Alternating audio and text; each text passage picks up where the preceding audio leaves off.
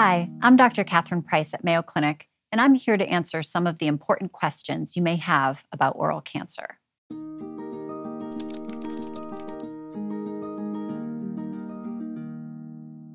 There are several things that you can do to prevent oral cancer. The most important is not to use any tobacco. It is also important not to drink too much alcohol or to abstain from alcohol altogether. A very simple thing that everyone can do that will decrease the risk of oral cancer is increase fruit and vegetable consumption. It's very important to try and reduce stress and to exercise on a regular basis.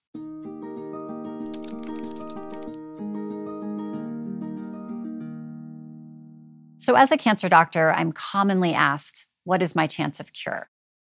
And that's a very difficult question because there is no absolute time point where we can say that you are cured of your cancer. But for oral cancer, most of the cancers will come back within the first two years of treatment. And if somebody gets to five years after treatment with no sign of cancer, the chance of it coming back is very, very low. So, in general, we think about a five year mark after cancer treatment as being cured. But again, it is not an absolute cutoff. And sometimes we'll see recurrences beyond that point, but it is very unlikely.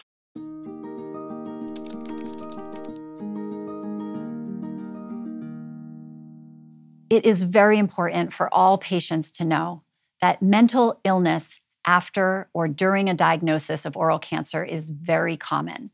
The most common things that we'll see are depression and anxiety.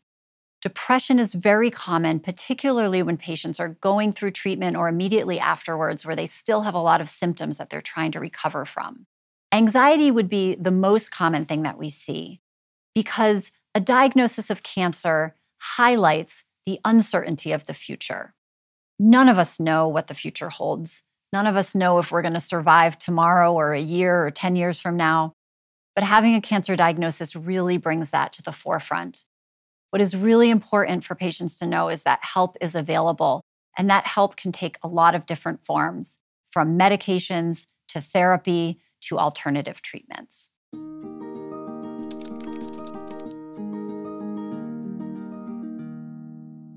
If you happen to be taking care of somebody who has oral cancer and is going through oral cancer treatment, the most important thing that you can do is show up and be there for them in a general sense.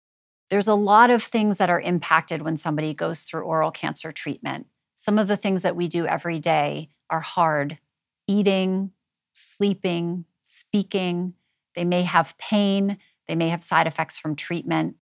And unfortunately, as a caregiver, you can't take any of those things away, but you can be supportive in a general sense and just be there with them. Know that you can't fix it, but that you can walk on that pathway with them so that they're not alone.